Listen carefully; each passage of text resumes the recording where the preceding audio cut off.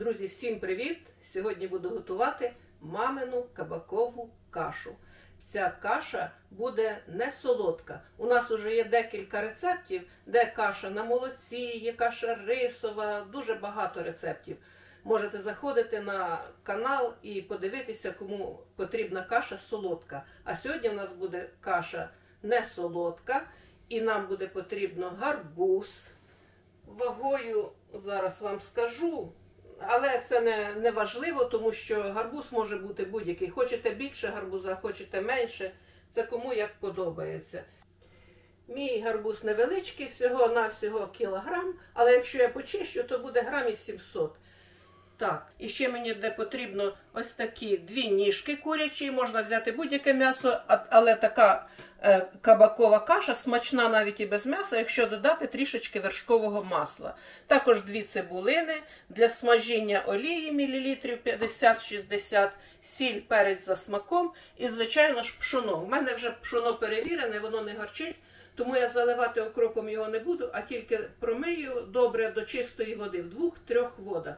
І почну з того, що спочатку обсмажу м'ясо з цибулею. І ще, до речі, я буду сьогодні готувати таку кашу, раз каша за маминим, за маминим рецептом, це каша з мого дитинства, то і готувати я буду в маминому казанчику. Такі казанчики раніше у нас в селі були в кожному дворі. І великі, і маленькі, і по три, по чотири штучки було. Не знаю, як у вас називають. Нам в коментарях писали, що називають баняки або ще якось. Нас називали казани. І якщо в селі було весілля, то збирали з усього села такі казани під голубці, під картоплю, під налисники.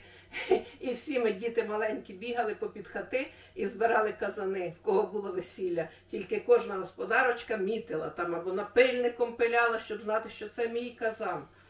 От. І що ж, нарізаємо цибульку.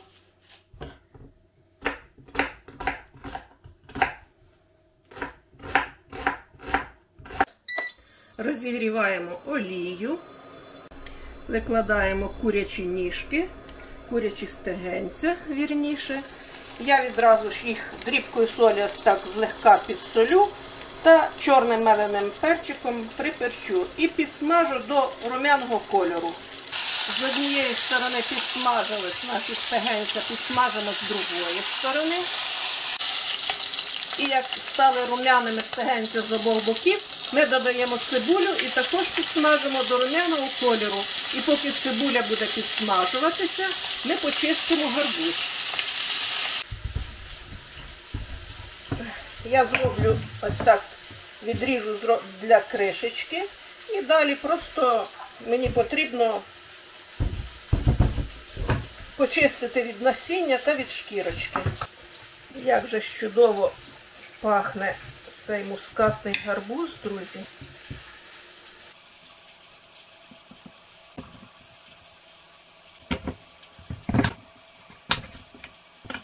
Стегенця підрумянились, гарбуз ми вже нарізали, пшоно промили, все вже підготували.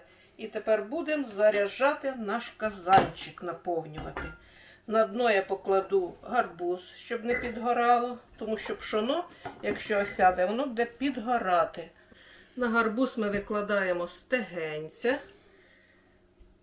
Так, тепер пшоно, я його двічі промила, воно чистеньке. Якщо гірчить у вас, то потрібно залити окропом. Я перемішаю з олійкою та смаженою цибулькою, щоб пшоно було розсипчате.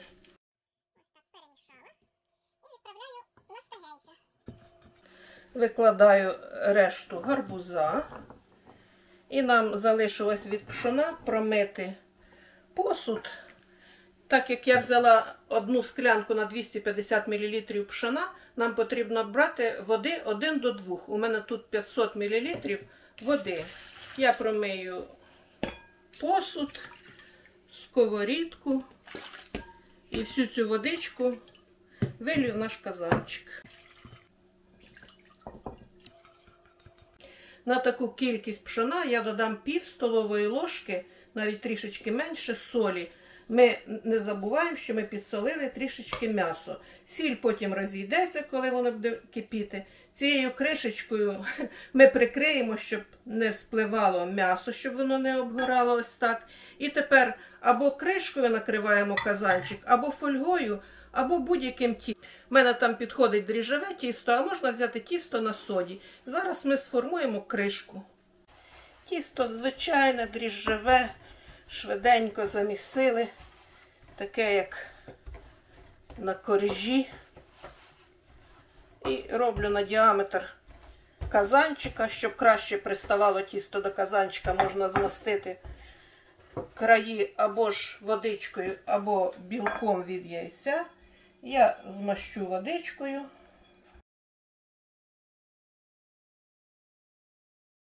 Щоб хліб не пекти ще раз, я зроблю дві таких великі гусочки, знову ж таки, такі будуть у мене мамині гусочки.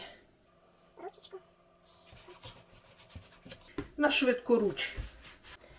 Я такі швидесенькі гусочки замість хлібчика зроблю. Чи робили вам ваші мами такі гусочки на черіні?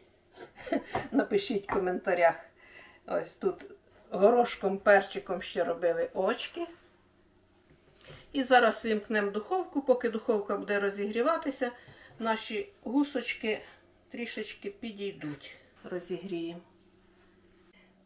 Так, друзі, коли б ми ще з вами погралися, все.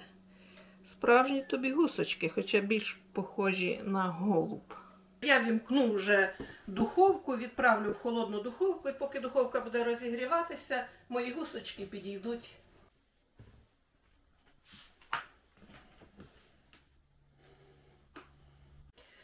Знаходилася наша кабакова каша 1 годину 50 хвилин. Дамо трішечки охолонити та знімемо кришечку. Знімаємо кришку. Вона ж наш хліб. Подивіться.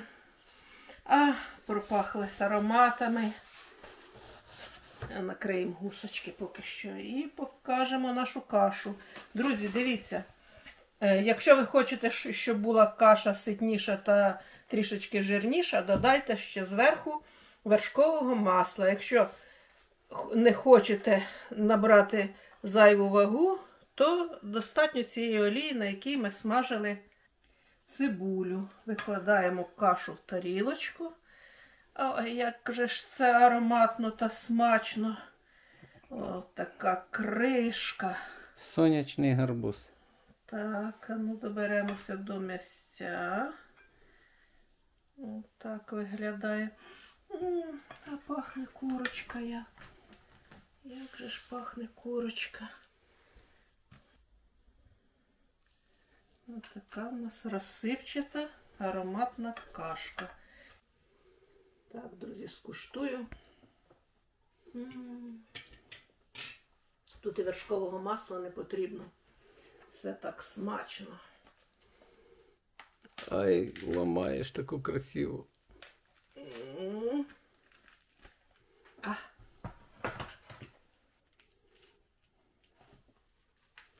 М. Ніби в тандирі. Так смачно вийшло. А це гусочка з мого дитинства. Тільки, правда, в дитинстві мама випікала таку гусочку на черіні. Вона була до того ж смачна, така з димком, дуже ароматна. І зараз ми будемо смакувати. Ну, звичайно ж, м'ясо це курятина, м'ясо приготувалося, каша, бачите, пшоно розімліло повністю. Подивіться, як розімлів гарбуз, подивіться, як пюре, який він сонячний. Все, друзі, ми обідаємо. А вам також, хто зараз обідає, бажаємо смачного. Бажаємо, щоб найшвидше настав мир в нашій країні. Бережіть себе і пока-пока.